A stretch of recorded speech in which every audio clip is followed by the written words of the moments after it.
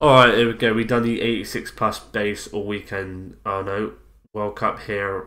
World Cup hero player pick. Bloody hell. If I sound like deaf, it's because I got COVID. Um, the worst is gone now, I think. Uh, typical on Christmas. I had it last Christmas as well. So yeah, that sucks. But um, yeah, can we just get something good that I can use? Uh, we won't hold out any longer. Let's go.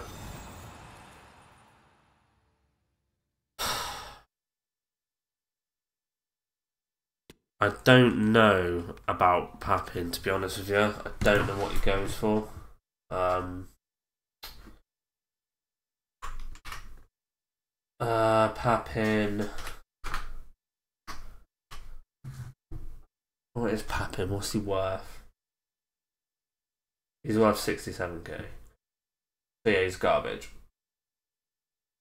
Um, Jesus Christ.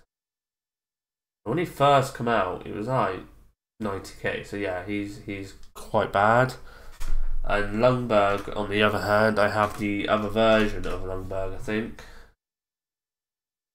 Um, yeah, so that's awful. Um, yeah, hopefully you lads haven't got to go through the pain. If you've done this, let me know who you've done.